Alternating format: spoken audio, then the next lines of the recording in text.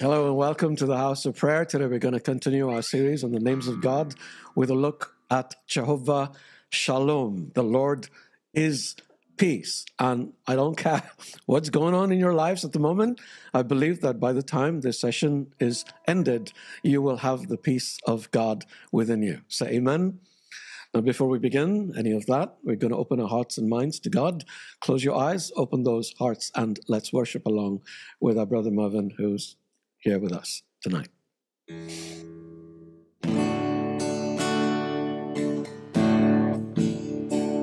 Come, now is the time to worship. Come, now is the time to give your heart. Come, just as you are to worship.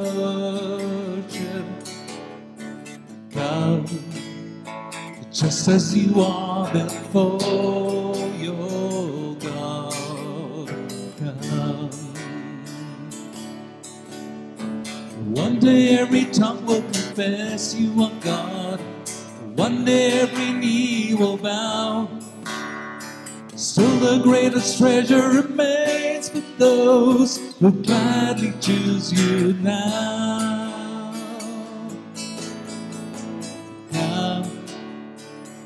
Now is the time to worship. Come, now is the time to give your heart. Come, just as you want to worship. Come, just as you are before your.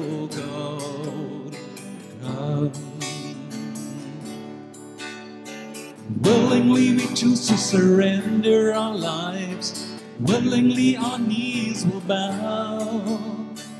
With all our heart, soul, and mind and strength, we gladly choose you now. Come, now is the time to worship. Now is the time to give your heart. Come, just as you are to worship. Come, just as you are before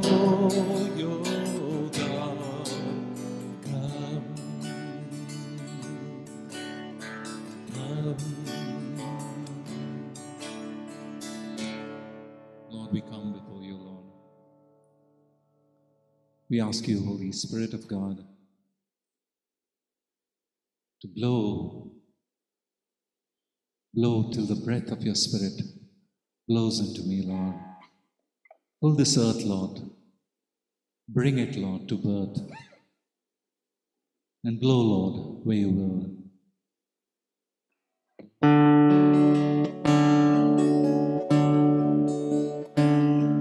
Spirit of God clear running waters, blowing to greatness the trees on the hill. Spirit of God and the finger of morning, fill the earth, bring it to birth, and blow where you will. Blow, blow, blow till I be but the breath of the Spirit blowing in me. Blow, blow, blow till I be but the breath of the Spirit blowing in me. Down in the meadow, the cattle are lowing. Sheep in the pasture land cannot lie still. Spirit of God, creation is groaning.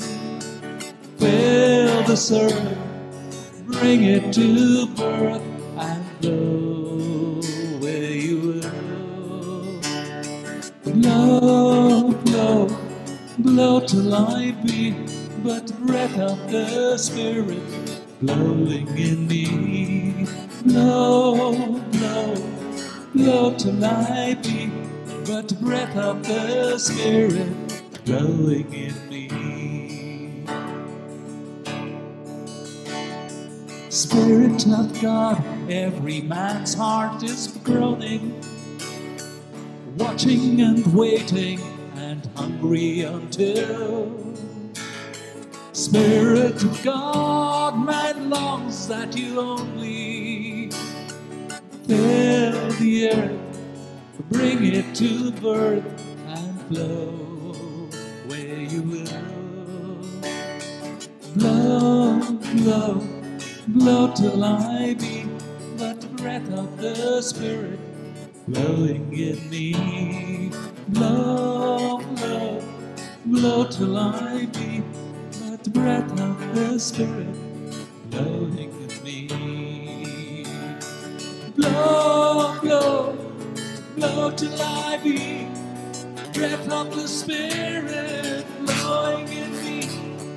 Blow, blow, blow till I be breath of the Spirit blowing in me. Holy Spirit, blow, blow, Holy Spirit, blow, blow, blow till I be breath of the Spirit blowing in me. Blow, blow, blow, blow, blow, Holy Spirit, fill this earth, fill our hearts, fill our minds, that we may worship you, Lord, in spirit and in truth. Hallelujah, hallelujah, hallelujah, hallelujah, hallelujah, hallelujah. We praise you, Lord, praise you, Lord, we worship you. Hallelujah, hallelujah,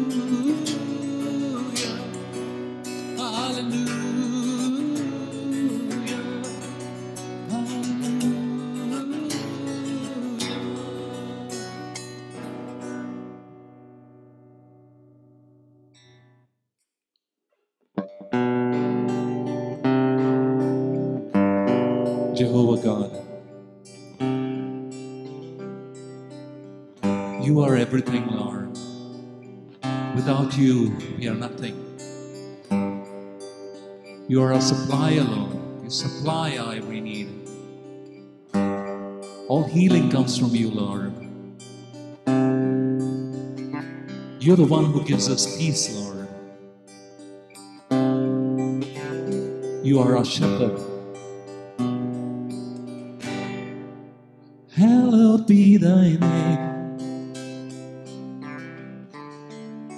Jehovah God, you reign. And you will never change, oh Lord. Forever you're the same.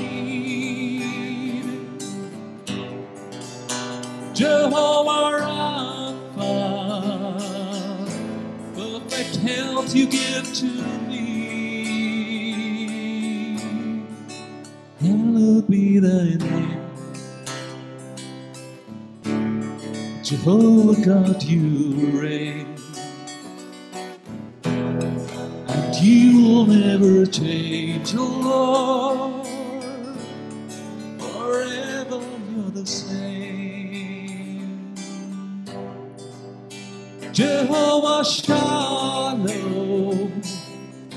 You're the one who gives me peace. Jehovah Rohi, my faithful shepherd leading me. Hallowed be thy name. Jehovah God, you reign. You'll never change, oh Lord. Forever you're the same. Hallowed be thy name. Jehovah God, you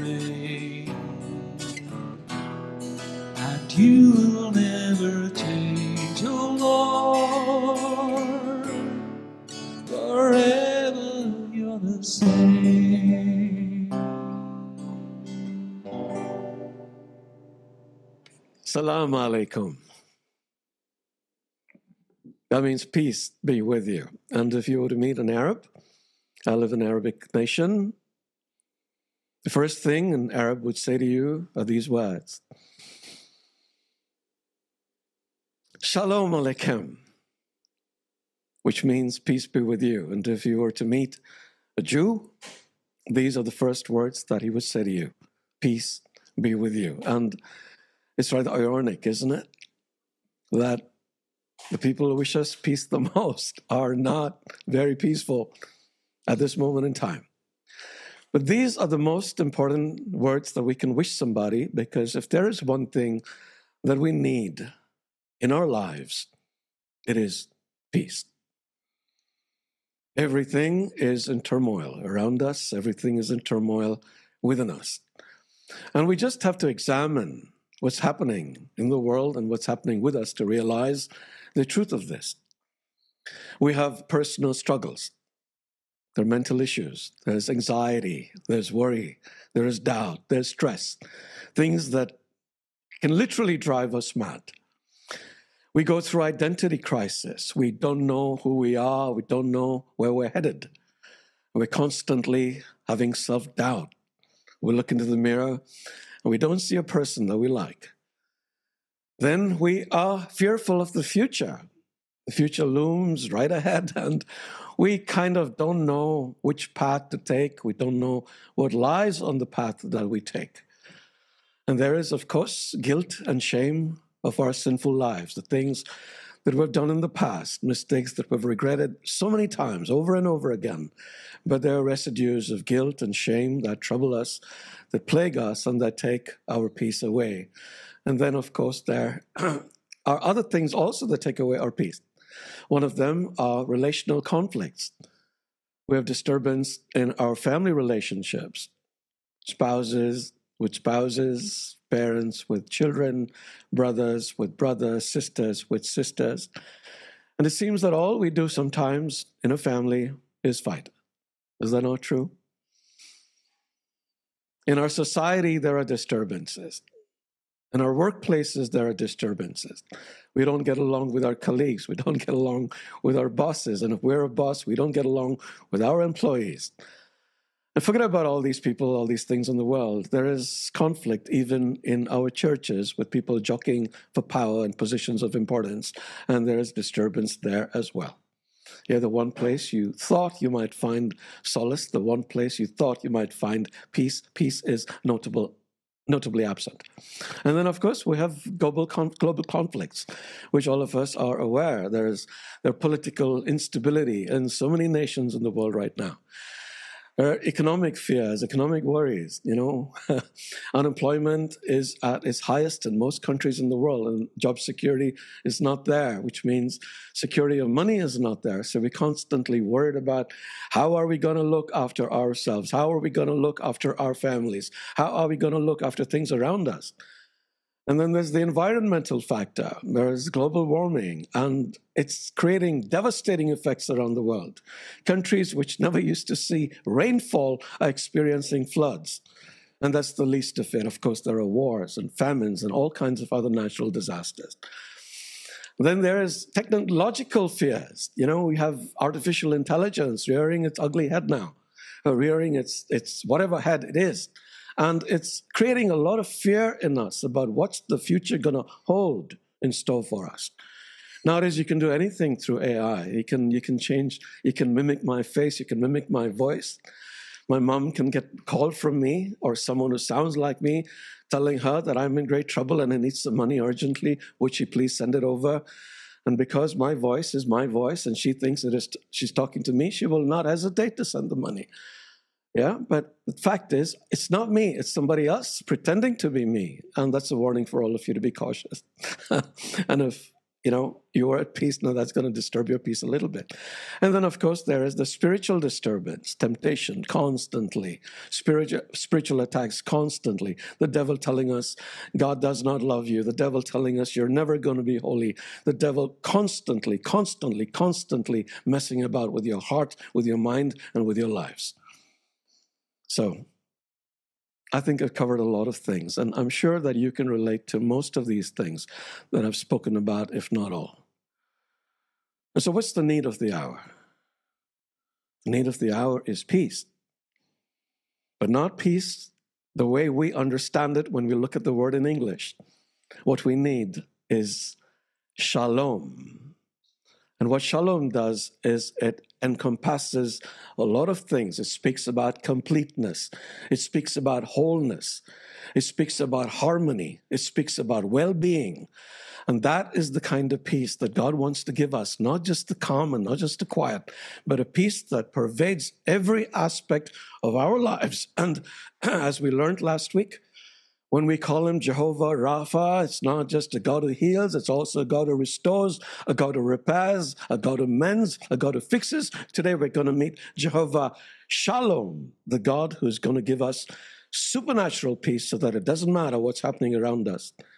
We will be at peace. And if your hearts are open, and I truly hope they are, before the session is over, you are going to experience this peace that comes only from God, that can come only from God.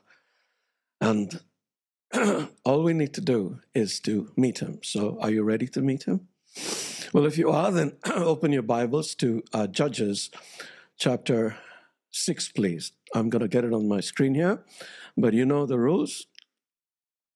Um, you need to open it in your own Bibles and read it for yourselves because after the session is over, I want you to open to this passage and I want you to read it and I want you to think about everything that we spoke about today so that it is fully integrated in your lives, all right?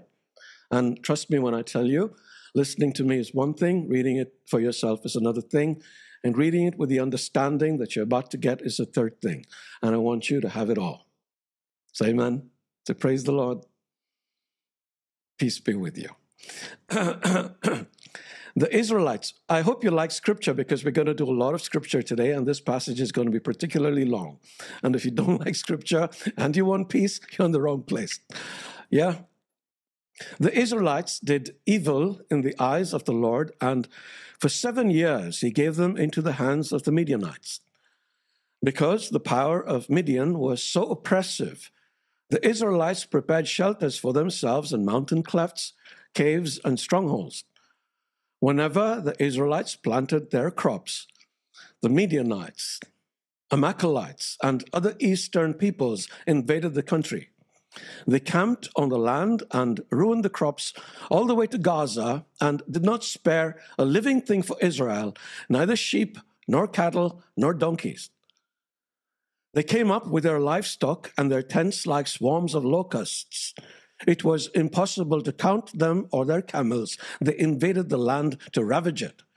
Midian so impoverished the Israelites that they cried out to the Lord for help. I'm going to pause there. Keep your, keep your Bibles open to this passage because we're not done with it. I want to tell you about a common thing that has happened throughout Israelite history. There were moments of, there were times of great prosperity. They enjoyed the blessings of God. But instead of turning toward God, instead of coming closer to Him, instead of being grateful for the tremendous blessings that they received, they started doing whatever they wanted to do. And what does that mean? They did evil. They did things that were not pleasing to God. And they continued doing that. Why not? The blessings were there. Who needs God anymore? Big mistake. Because when we do that, when the Israelites did that, we're going to stick to them since we're talking about them. I'll come to us in a moment. When the Israelites did that, God would remove his hand of blessing and the Israelites would come upon hard times. Just like what you just read. And these are terrible times, miserable times. When they came upon these hard times, they did what they always did, which is to turn to God and say, Lord, I'm sorry, we need you. And then the Lord, because He is merciful and because He's compassionate, He forgives them and He restores them and He blesses them again. And then what happens? They enjoy the blessings for a little bit, they thank God for a little bit, and then return to their old habits of sinfulness. And now we come to us. Don't we do the same? God loves us so much. God blesses us so much. But instead of coming closer to Him and saying, Thank you, Lord, we want to continue to be blessed by you because you're the only one who can bless us. We forget about the blesser and focus on the blessings, turning to a life of sin until we come upon hard times. And then the entire cycle repeats itself ad nauseum. The blessings, the rebellion, the struggle, the repentance, the restoration, and back to the blessings. Now, the good news is, and there always is good news because I'm an optimist. And why am I an optimist? I'm an optimist because I have the greatest God in the universe as my God. And you need to be optimistic too, because this God is your God too. The good news is that we are right now in human history at a time of struggle, at a time when everything around us is falling apart, at a time when we're beginning to realize, and if we don't realize it yet, we will realize it very soon, that the only way out of our strife, out of our difficulties, out of this global situation is to turn towards God. And when we turn towards God, He's going to restore us and He's going to bless us. So we're in very soon for a time of blessings. And I believe that these will be tremendous blessings. But in order to get there, we need to turn to God as the Israelites did. Let's continue with the story. I'm going to keep this on the screen until I'm done until I'm done dissecting this. When the Israelites cried out to God, this is Judges 6, verse 7, for anyone who's just joined us. Please open your Bibles to Judges chapter 6, verse 7. When the Israelites cried out to the Lord because of Midian, he sent them a prophet who said, This is what the Lord, the God of Israel, says I brought you up out of Egypt, out of the land of slavery. I rescued you from the hand of the Egyptians, and I delivered you from the hand of all your oppressors. I drove them out before you and gave you their land. I said to you, I am the Lord your God. Do not worship the gods of the Amorites in whose land you live, but you have not listened to me. Now, I got a little passionate over there, and the reason I got passionate is because all prophets are passionate. Can you imagine giving someone a scolding with a smile on your face? You have to be stern with people and make them come to the realization of the errors of their ways. And if you're not able to make people come to that realization that what they're doing is wrong, what they're doing is sinful, and that they need to turn to God, you're a pretty crappy prophet, aren't you? And so listen to the tone of these words here. It's a warning, it's a stern warning. And he's saying, God has done so much for you people. God has delivered you from slavery. God has taken you to the, has taken you to the promised land. God has blessed you with so much. And what do you do? You turn to false gods. And isn't that what we do? Too. Sunday we worship God, we go to our churches and do whatever we do in our churches. And the rest of the week, he is far away from our minds. He is far away from our hearts. And you want to test that? How much time do you spend with God outside of that church service that you go to? But you're busy, no? You're busy looking after your family. You're busy providing for your family. You're busy working. You're busy making a name for yourself. You're busy accumulating wealth. You're busy doing this and doing that and doing that. And whatever you spend most of your time with is your God. Whatever you give most importance to is your God. Idols are not just things you make out of clay. Idols are anything that takes precedence over God, and we all have idols in our lives. And so, this story about the Israelites is actually a story about us. And don't be fooled by my smile. I'm still scolding. I just, I just like to smile because nothing can take the joy away from me. So let's continue. The angel, this is verse 11. I hope you all are on your Bibles. I use the NIV. Uh, I, I, like the language in it, and I really recommend that that you get. Doesn't matter what. I'm not telling you to, to drop your Bible into the sea, um, or to to to keep it aside. But but um, it's always a good idea to have different versions.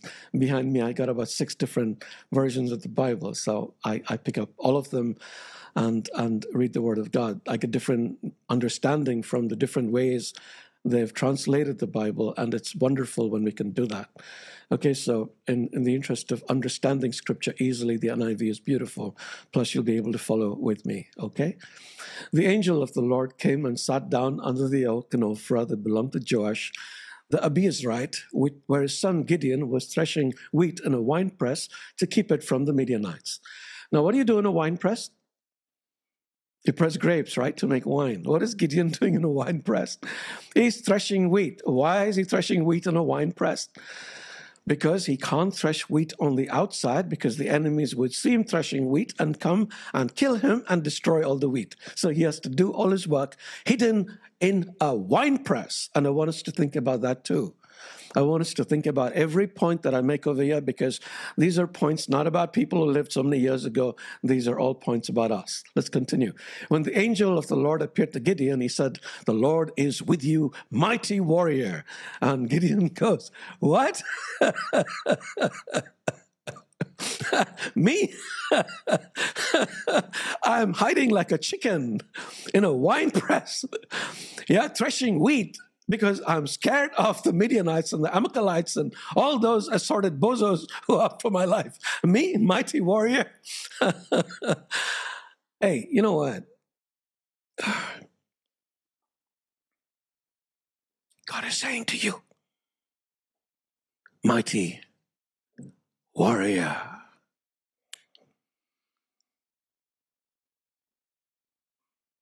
What does Gideon say? Probably the same thing that you're saying right now, right? Pardon me, my Lord. But if the Lord is with us, why has all this happened to us? Where are all his wonders that our ancestors told us about when they said, Did not the Lord bring us up out of Egypt?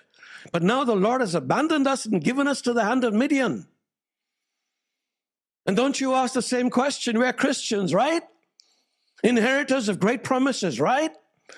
God has said, I will give you abundant life, right? And so, where is the abundant life? I keep singing about God being the miracle worker, the promise keeper, and the rest of it. But where is this God that I keep talking about and singing about and hearing about? Where is He? And you need to ask this question. God doesn't mind. God doesn't mind. Trust me, He doesn't mind. I know Him. Because there are times in my life I've asked him where he was. Times I've said, You made all these promises to me. I've said, You made all these promises to the church. You made all these promises to believers. And where are you, Lord? Why is the devil triumphing? Why is there so much of bloodshed in this world? Why is there so much of evil? Why is there so much of crime? What are you doing, Lord? And haven't you asked it? Be honest.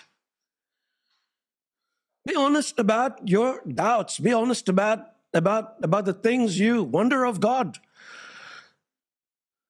Gideon was. He asked the question that was in everybody's mind. Lord, you promised me this. You promised us abundance. You promised us glory. You promised us riches. And we are hiding like, like, like, like cowards.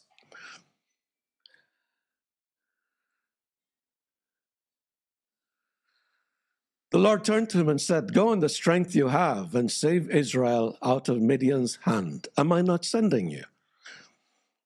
the Lord said, All right, you're wondering where I am. I'm here.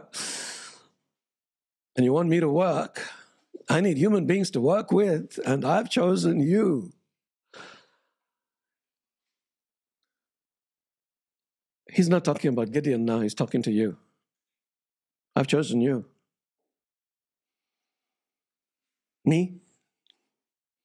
Go ahead. Go ahead, ask God me.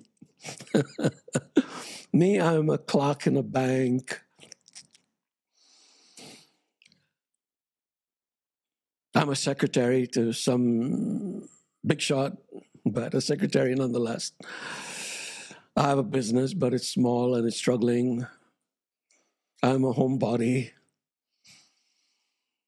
I'm just a housewife who doesn't know anything but to cook and to look after the kids and to sweep off after my husband, who's this lazy bozo doesn't do anything. who are you? Again, be honest. Be honest. God appreciates honesty. It's better to say who we are and doubt our ability to do anything than to pretend we're something and not do anything. So the Lord turned to Gideon and said, Go in the strength you have and save Israel out of Midian's hand. Am I not sending you? And Gideon replies, Pardon me, Lord, but how can I save Israel? My clan is the weakest in Manasseh, and I'm the least in my family. Um, I'm the least of the least. I'm good for nothing. Don't you have any better people to send?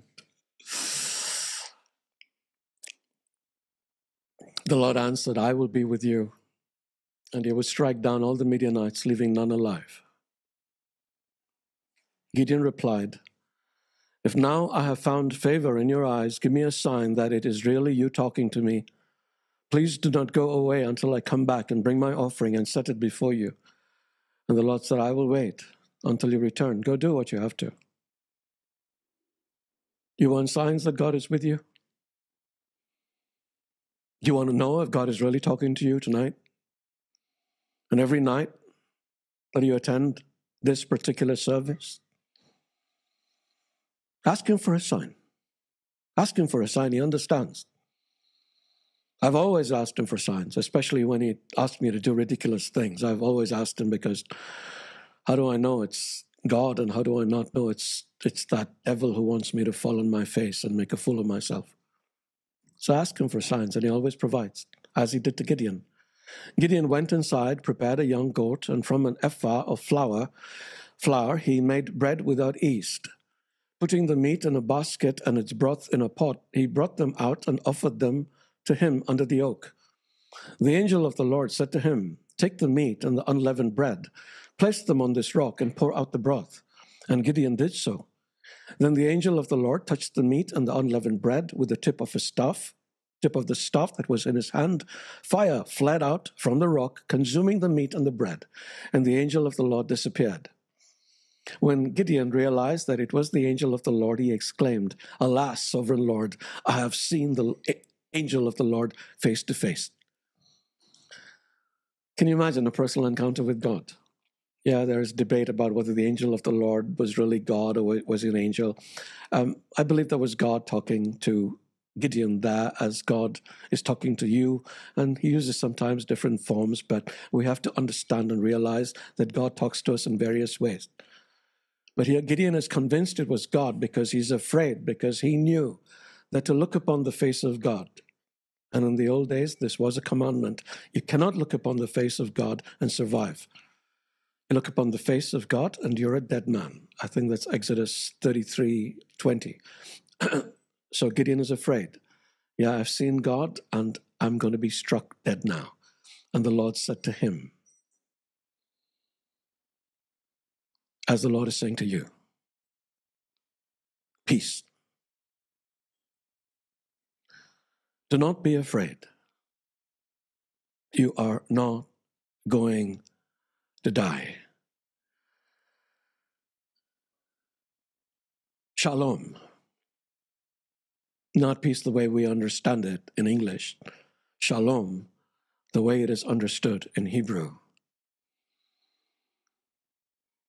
And he's not just telling Gideon to be at peace, he's giving Gideon supernatural peace.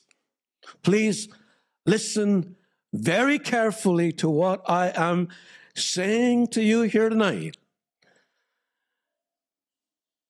Because God is not just going to let our hearts and minds and will be at peace. He's not going to say your life is going to be at peace. He is saying, I am giving you peace right now. Supernatural peace. We sing that song. We've been singing it almost every week in our sessions. It's a song that goes Yahweh, Rapha, Yahweh, Rapha, Elohim, Shaddai, Jireh, Adonai will manifest himself. And then it continues, Your glory will manifest in this place. Lord, you're doing something great. Awaken supernatural faith. And that's what happens when we are with God, that He's not interested in giving us ordinary faith. He wants to give us supernatural faith so that we listen to the things that He says and believe in what He says implicitly that we live lives of freedom without doubt, that we live lives of freedom without struggles, that we live lives of freedom that truly allows us to live in abundance. And over here, when he says, peace, awaken supernatural peace, I'm giving you supernatural peace. Please understand. And then he says, do not be afraid. And do not be afraid that you have looked upon the face of God and are going to die, but do not be afraid about anything. Be fearless. Because I've chosen you, I've selected you out of thousands and hundreds of thousands and millions of people. I've chosen you, Gideon. Don't be afraid. You are not going to die. Not only are you not going to die because you've gazed upon my face, you're not going to die in battle either. In fact, you are going to live forever, your name spoken about forever. And this is what God is saying to you, my brothers and sisters. Do not be afraid. You're not going to die. And in our case, our case, it's a little more than what Gideon got. And we're going to come to that in a few moments, but let's finish this now. So Gideon built an altar to the Lord there, and he called it, The Lord is Peace. And he called it, what did he call it? I'm going to close this now so that you can see my face and give me your undivided attention. He called it, The Lord is Peace. Gideon has not gone to war yet. Gideon has not won any battles yet, but he's declaring who his God is and who is his God. His God is the creator of the universe, but he's also the God of peace. A God who gives peace to troubled minds, a God who gives peace to restless hearts, a God who gives peace to purposeless lives, a God who tells us not to be afraid because he is with us. And Gideon builds that altar to let everyone in his village, to let everyone in his tribe, to let all of Israel know that the Lord is peace and he is with them. And the Lord is peace and he's with you. But you say, where God spoke these words to Gideon, why doesn't he say them to us? And 2,000 years ago, the Prince of Peace, said these words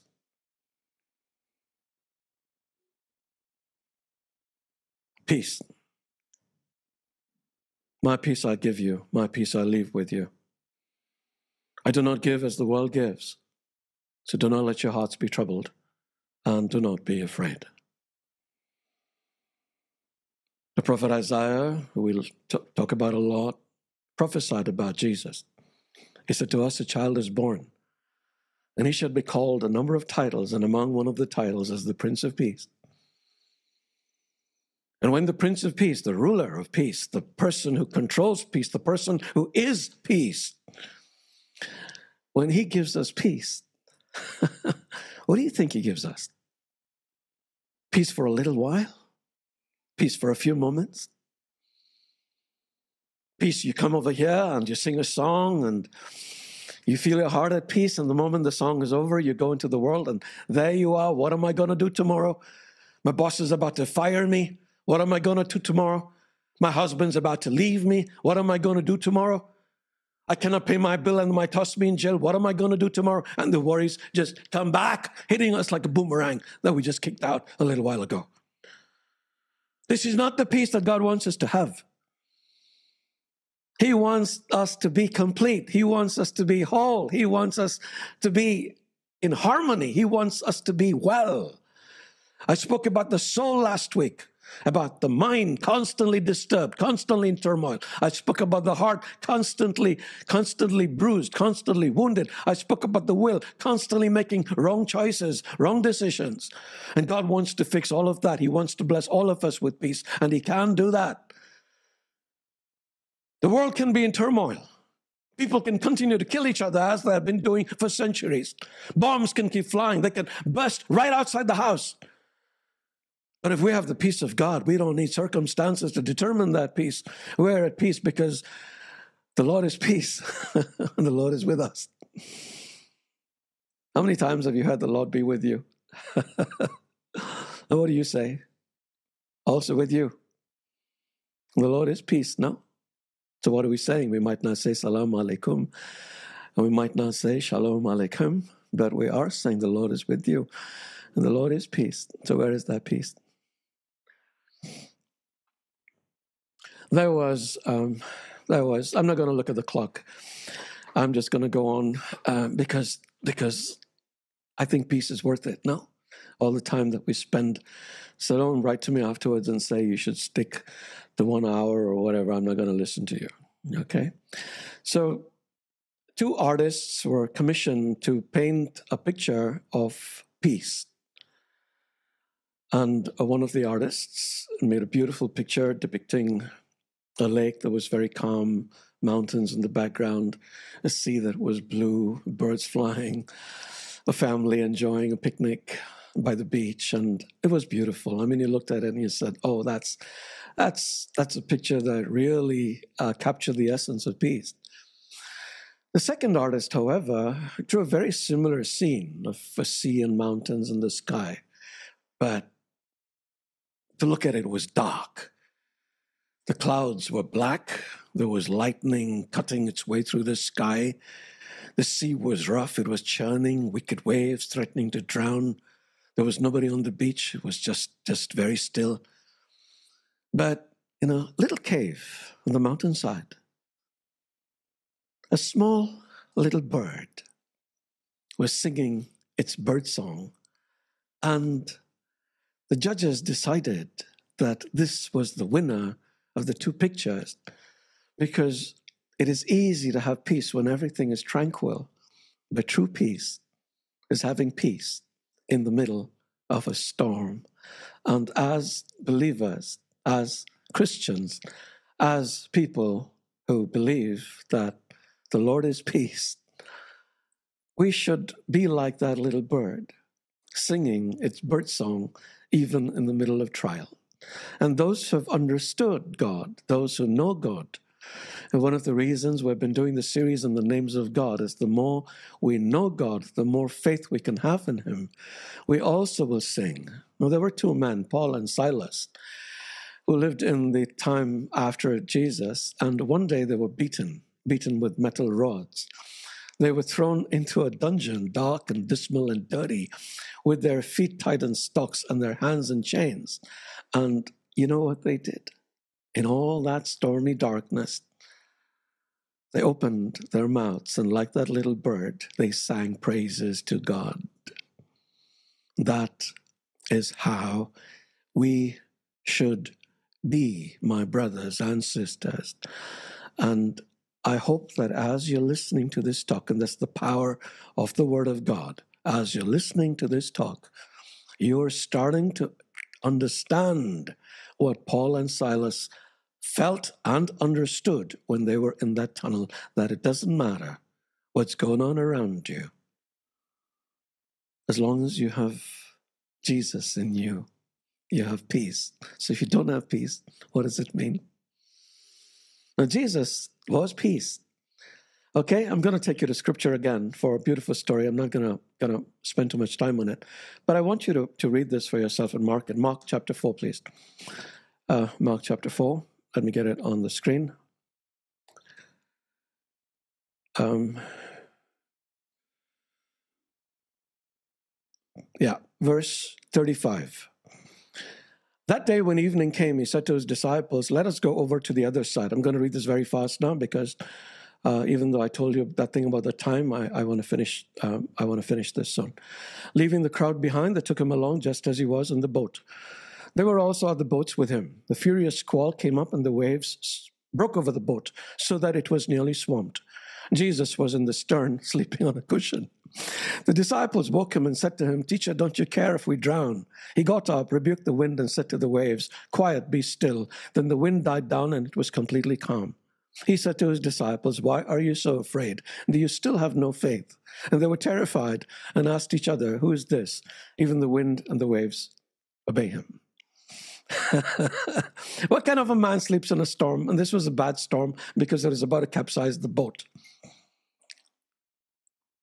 Let me repeat the question. What kind of a man sleeps in the middle of a storm? Only a man who is in total control, only a man who is in total peace. Jesus was totally at peace. I wonder if the boat had capsized, if he still would have been at peace, he probably would have been. Why? Because he knew that nothing could happen without the will of God. Please listen to me very carefully. How were Paul and Silas able to be at total peace in that dark dungeon? Because they knew that nothing could happen outside the will of God in their lives. And even if that to go through a storm, even if that to be beaten up, even if that to be tortured, even if they're to be killed, it was all in the will of God. Jesus told the apostles, let's go over to the other side. Jesus knew everything that was going to happen. Jesus knew that even though they were in the storm, they were also in the will of God. And just that understanding will give you peace right now. Just that understanding. So I'm going to repeat it to you. Do you trust God? Yeah, Paul tells us. Paul tells us that whatever happens, whatever happens, know that God is going to make good come out of it. And if you have that, Romans 8 28, let's open our Bibles to that. Hang on a second. Yeah, Romans. Uh, there's mana coming out today. This none of this is Rios, by the way. Yeah. Yeah, Romans eight twenty eight. Let me get it on the screen here, and I want you to repeat it after me. Yeah, and we know, say, and we know that in all things God works for the good of those who love Him, who have been called according to His purpose. Let that sink in. We know that in all things. Your building might be hit by a bomb now if you're living in Lebanon, okay? The entire thing might come to the ground. But if you know, if you know that in all things, in all things, God works for our good, it doesn't matter what happens, you will say, Praise the Lord. And that is where the peace comes from. And that is why Paul and Silas were not bothered about anything because they knew they were in the will of God. So bad things happen in this world, guys. Yeah. I, re- I watch the news and I'm not happy with what happens. But I'm the most unhappy, other than, of course, the violence and the bloodshed and innocents dying, is, is that these people live disturbed and die disturbed. Whereas the believer in Christ need not live disturbed and die disturbed either.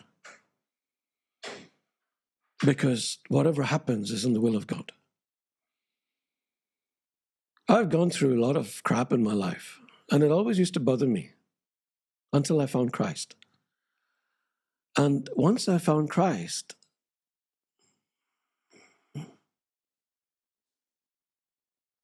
either he's in charge or not. And if he's in charge, then what do I have to worry about? He spoke about him as Adonai, Lord and Master. If he's my master, he has a responsibility to look after me. If he's Elohim and the creator of this world, there's nothing that happens that he doesn't know. So he's in control. And if he's in control, then what do I need to worry and break my head about? Are you listening to me? Does that mean I can do whatever I want? No, it doesn't. He will correct me if he sees that I'm doing something I shouldn't do. As he corrected the Israelites, as he's correcting the world right now.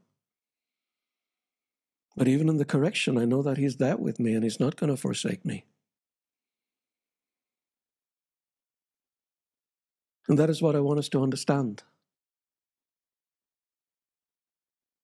That peace comes from this security in knowing that He is a wonderful God who loves me. One of my favorite verses in the Bible is Philippians chapter 4, verses 6 to 7. And although I know it by heart, I want to read it to you. So let's open our Bibles to, to Philippians.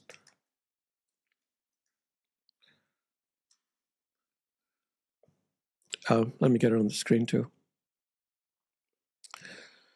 Philippians um, chapter 4, verse 6. Do not be anxious about anything. This is for all you anxious people there. If the session ends and you're still anxious, if you're still worried, then you've not been listening to me. So watch the talk again and again and again until it sinks into your heads and your hearts, more importantly, because anxiety and worry is not for the Christian believer. Let me repeat that anxiety and worry is not for the Christian believer. So do not be anxious about anything, but in every situation, by prayer and petition, with thanksgiving, present your request to God, and the peace of God, which transcends all understanding, will guard your hearts and minds in Christ Jesus. Let me take it off the screen. Look at me. Do not be anxious about anything, but in everything, with thanksgiving, present your request to God. And the peace of God that transcends all understanding will guard your hearts and minds in Christ Jesus. What is it saying? What is Paul saying? He's saying you have an anxiety, you have a worry. Yes, you do do have a worry. You to get anxious about stuff. What do you do? You want to worry about it more and more? Stress yourself out more and more? Talk yourself into an early grave? He's saying, hey, go to go to God. Tell him what you need. Thank him. Give him a hug, and then go away in peace. And people find this very simplistic. So I'm going to tell you a little story of what used to happen when my daughter was little she would come to me sometimes and say, Dad, I need some money for a class picnic or some class activity the next week. And I would say, Okay, baby. And she'd give me a tight hug and play without a care in the world, even though I did not give her the money. Why? Because she knew that as a father, on the day she needed the money, she would have it. And so she could be at peace. Now, Paul asks, Paul says rather, the Spirit Himself testifies with our spirit that we are children of God. Now, if we are children of God, then is there anything that our Father cannot do for us? If I, as a human father, love my daughter with my limited love, to be able to take care of her, to be able to provide her, and she trusts me, even though I'm just a human being, how much more should we trust our God to whom nothing is impossible? And so, do you see the simplicity of it? That instead of worrying and breaking my head about things I have no control over, I go to my God and say, Father, I have this problem. And I don't know what to do about it. And today I went to him with a problem and I said, I don't know what to do about it, but I trust you because you're a great God and you're a mighty God. And I don't know why I'm going through this, but I'm leaving it in, into your hands and I'm at peace. Ta-da! so you have a choice now. You want to worry? You want to be anxious? You want to die early? I want to, dying early is not a bad thing, but you want to suffer while you die. Yeah, on your deathbed, all you're going to do doing is grumbling and talking about about the bad stuff that's happened in your life. This is not what God wants for us, guys. And we really need to understand that. This is not what I want for you. I want you to, to have peace. And this is not somebody just talking about stuff because he's read it somewhere. All these things I talk about experience for the most part. So I talk about them with certainty. I don't talk about them, you know, kind of, it might happen, might not. I know it is going to happen. And like I said, this is shalom peace. It's not peace, peace, the way we understand it. It's shalom. It's it's encompasses everything. So let's look at a few things that Jesus has done, and then we're going to end with with whatever song Brother Mervyn chooses to sing. And he's going to continue singing that. And through that song, I'd like to think that actually, let's just sing Hallowed Be Thy Name again.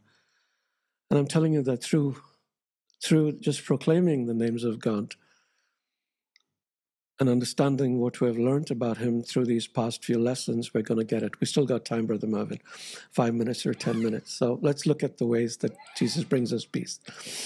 One, I can hear him stringing that thing, everything's working. One, he brings us peace with God. How? We were God's enemies, but through his death and resurrection, for those of us who believe in him, he brings the peace of reconciliation with our Father. As we've already seen, we can call ourselves children of the mightiest being in the universe. Just think that for a moment. Just think that for a moment. I got God as my Father. I'll, I'll be a fool if I worry about it. really, I mean, think about it for a moment. So, peace, instant peace. Second thing is I have peace for my for my soul. That I know that I have forgiveness. So many of us carry guilt and shame with us for things that we've done in the distant past, things we've repented for. Still not understanding that when Jesus forgives, he forgives completely. It's like you never committed the sin. And people around you can point their finger at you. The devil can point his finger at you. You can point a finger at you. Stop it. It doesn't matter because you're forgiven. And that forgiveness brings so much of peace to know that I am forgiven.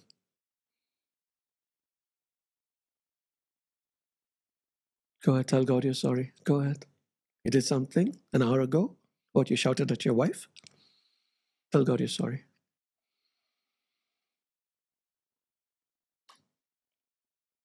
You lied about something earlier in the day? Tell God you're sorry.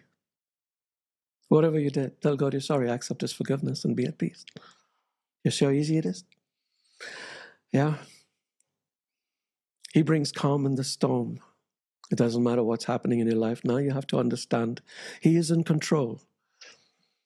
And if He's in control, then you don't have to fear anything. You don't have to worry about anything. So be at peace and always think of that little bird singing bird song in the cave, in the mountain, in the middle of a storm, and say, I'm going to be like that little birdie and I'm going to sing my own bird song. even if I don't sing very well. Then we're at peace with others. If I'm at peace, I can be at peace with my neighbors. I can be at peace with the people around me. But if I'm constantly agitated, then I cannot be at peace with anybody because I'm not at peace with myself. But if you're at peace with yourself, you can be at peace with everybody. And you need to be at peace with everybody because Jesus said, Blessed are the peacemakers. And you want to be more blessed than you already are, you start becoming a peacemaker. Don't hold anything against anyone. I've forgiven everybody, all my offenders. And if anyone of my enemies, I don't like to think of them as such, but I know that they do come and stretch their hand towards me. I'll ignore the hand. You know why? Because I'm going to give them the tightest huggy buggy they've ever received. Enemies listening? Some of them show up for these meetings to see who else is here listening to me. then we have peace of mind. You know, I spoke about anxiety and worry and the rest of it, but you just remember Philippians 4 6 to 7 and don't be anxious about anything. And so my mind is at rest. Yeah, so you see how God looks at it holistically. And then have eternal peace. I spoke about Gideon and not being afraid, yeah, but because because nobody was going to kill him, but of course he was going to die at some point. But for us, when we die, we don't really die because we live forever. And nothing can take that away from us. Nothing can take that away from us. Don't let anybody tell you that, you know, you constantly need to be frightened about whether you're going to heaven or you're going to hell. You say, but I commit sins. Yes, I know. God knows. And He's factored your sins into, into His plans for your life. It's not like you, you, you commit a sin, like that lie you, you said today. you think he didn't know that you're going to lie? But he also knew that tonight, when you listen to me, you're going to repent for that. And the moment you repent, you're forgiven. So, so slate is clean. And I want us to have this. Paul wanted us to have this. He said, Remember that the work that God started in you, he will complete. Yeah, the salvation. Who saved you? You didn't save yourself. And if you save yourself, start re- rethinking your, your, your, your, your faith. God saved you. He saved you. He started it. And he who began a work in you will carry it to completion. I think that's Philippians 1 6. I'm not going to bring it up on the screen, but make a note of it. It's a very powerful verse that should assure all of us of eternal life. And if that isn't enough, Jesus says, I've sealed you with my Holy Spirit. Yeah, as a sign that you're mine, as a sign that you're God's child. And nothing is going to take that away. Nothing is going to separate you from the love of Christ Jesus. Nothing, nothing, nothing, nothing, nothing, nothing, nothing, nothing, nothing. You're worried, no, sometimes? Yeah, because the devil tells you, oh, how many times are you going to do that? Now God doesn't love you anymore. What kind of God do you think he is? A petty God who's going to, gonna, gonna take offense at every little thing? He's a father. He's your father. And he is love. He is love. Forget about he knows how to love or he can love. He is love, just like he is peace. And so, so be at peace over there too. He's given us that Holy Spirit, and we have peace through the Holy Spirit. One of the fruit of the Holy Spirit is peace love, joy, peace, patience, kindness. Love, joy, peace, patience, kindness. And as long as we're with Christ, as long as we're living close to Him, as long as we're not just Sunday Christians who go to church once a week, but are constant in the presence of God, the Holy Spirit starts to move, the Holy Spirit starts to flow. You're listening to a powerful word of God today, and what do you think the Holy Spirit is doing? Even if He was dormant in you for days, I'm telling you, He started to flow now. And as He flows, as He flows, He's bringing you not just peace. He's bringing you supernatural peace, a peace that leaves you undisturbed. It doesn't, not uncaring, not uncaring. Yeah, that you should care about what's happening in the world and where you have the power to fix it, you must fix it. If your families are broken, start to repair it with God's help. And sometimes you might need to wait for the right time because whoever you're estranged with is not talking to you. But as long as you have the supernatural peace in you, the ability to reconcile, He will give you the opportunities to reconcile. But remember, He's also working in other people's lives. right? So they, they might not be ready for the reconciliation at this moment in time. But you always, always be ready to reconcile. And then you have peace because of your new identity. I already told you you're a child of God. I don't know about you, man, but there's nothing that gives me so much peace as knowing that God is my Father. Ah. Elohim is my Father. Yahweh is my Father. Adonai is my Father. Jehovah Rapha is my Father. Jehovah Shalom is my Father. Jehovah Tsidkenu is my Father. Jehovah Saba is my Father. And we're going to sing his names. That's all we're going to do. And maybe Brother Merwin can take the song twice. And all you have to do, forget about everything now. Really forget about everything and just know that you're a child of God. You're a child of this, God that we're singing about now. Hallowed be his name. Close your eyes.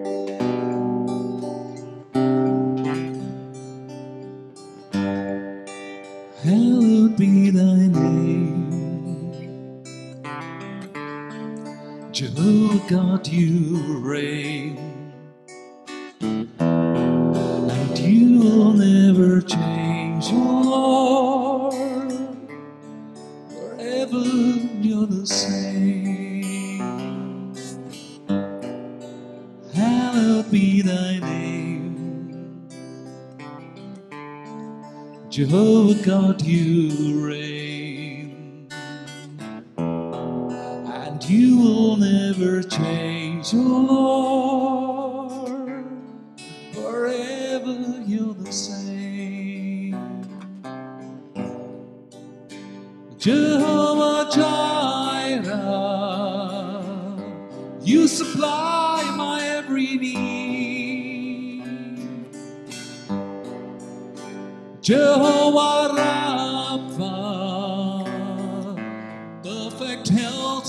to me. Jehovah Jireh, you supply my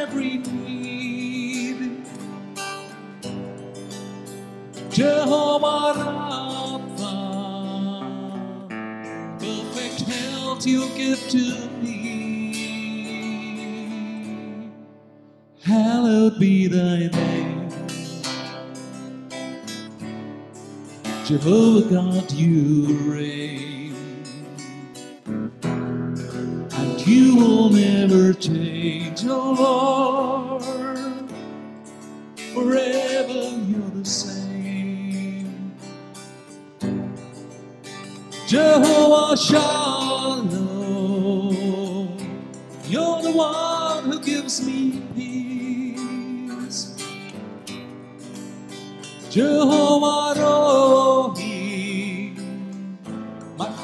Shepherd leading me. Jehovah Shalom, you're the one who gives me peace. Jehovah Rohi, my faithful shepherd leading me. And hallowed be thy name. Jehovah God, you reign. And you will never change, oh Lord. Forever you're the same. Jehovah Kadesh, you're the one who makes me clean. Jehovah do, imparting righteousness to me. Jehovah Kadesh, you're the one who makes me clean. Jehovah can imparting imparting righteousness to me. Hallowed be thy name. Jehovah God, you reign. And you will never change, Lord. Forever you're the same. Jehovah Nissi, Lord, you reign in victory. Jehovah Shammah, you are always there for me. Jehovah Nissi, Lord, you reign in victory. Jehovah Shammah, you are always there Hallowed be thy name. Jehovah God, you reign. And you will never change, oh Lord. Forever you're the same. Keep your eyes closed. And know that this God that we've been singing about, this God we've been describing,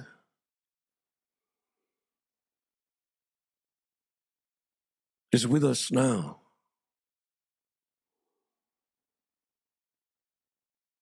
He's closer to us than he was with Gideon, with Moses, with any of these great people that we read about in the Bible. He's closer to us because he dwells within us through his Holy Spirit.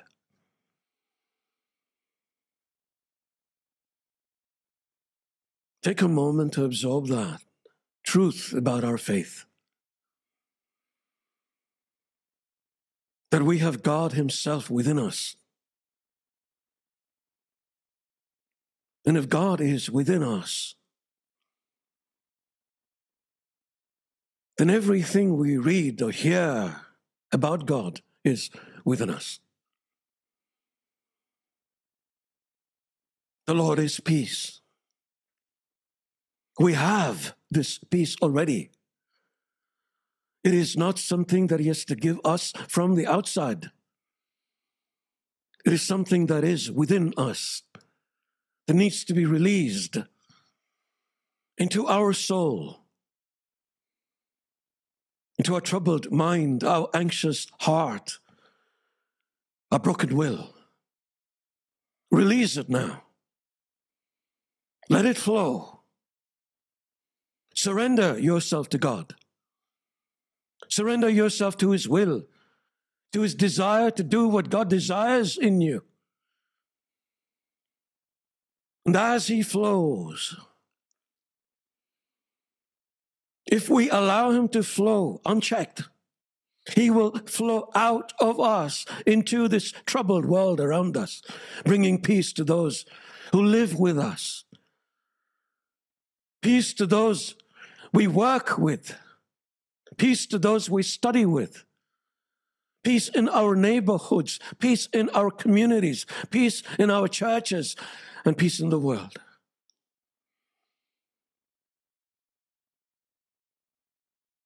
Jesus is the Prince of Peace, and we are his brothers and his sisters. And we might not be the Prince of Peace in the way that he is understood to be, but we are princes and princesses of peace if we desire to be. Taking God's peace into the entire world, and blessed are the peacemakers, for they are truly children of God. So even as God is letting his peace flow through us here tonight, let us understand that he's calling us to let this peace flow out into this world that is so broken, so chaotic, so troubled.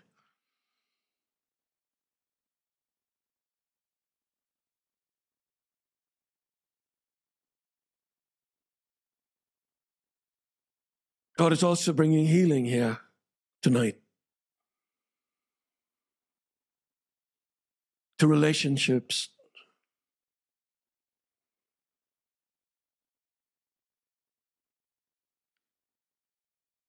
Relationships at your home. You will find your spouse suddenly seems different from what they were a few hours ago. He's bringing healing in our workplaces. And you will go to work tomorrow, the beginning of a new week, and you'll feel like it's a beginning of, it's a, it's a newness to everything. He's also healing bodies, even as we're praying now, taking away the headaches that stress used to bring us, taking away the ulcers that anxiety caused in us, taking away pain because we've started to trust more in His love and His mercy. There is so much of healing here tonight.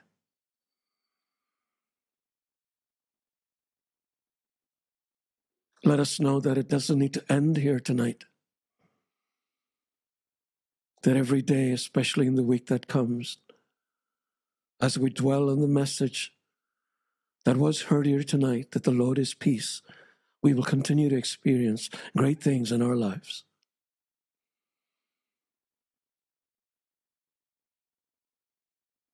All in Jesus' name, for the great glory of God. Amen. Open your eyes. I hope they were closed. so let's end with a song of thanksgiving.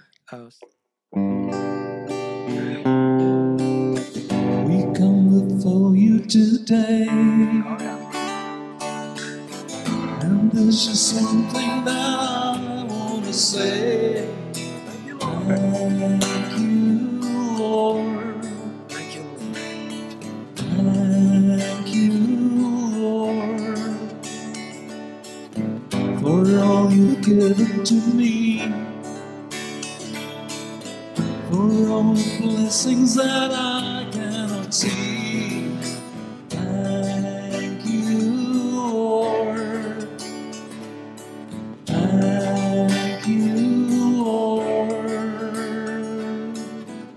a grateful heart with a song of praise, with an outstretched arm, I bless your name.